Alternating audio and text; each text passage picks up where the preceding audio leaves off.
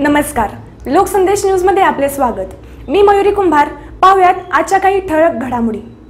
भारतभीम पैलवान ज्योतिराम दादा पाटील आखाडा हा दारुड्यांचा अड्डा बनल्याची तक्रार लोकहित मंचचे अध्यक्ष मनोज भिसे यांनी गेल्याच आठवड्यात महानगरपालिकेचे आयुक्त तथा प्रशासक सुनील पवार यांच्याकडे निवेदनाद्वारे केली होती. मात्र एक आठवडा उलटूनही यामध्ये महापालिका प्रशासनानं कोणतीही भूमिका न घेतल्यानं आज मनोज भिसे यांनी आखाड्यावर जाऊन दारुड्यांनी टाकलेल्या दारूच्या बाटल्या गोळ्या केल्या.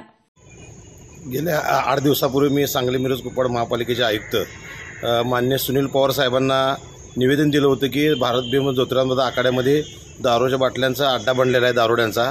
त्याबद्दल निवेदन पण त्याची पूर्तता काही केली नाही. आज मी स्वतःहून इथं आलो आहे आणि ह्या बाटल्या मी आज गोळा करत आहे.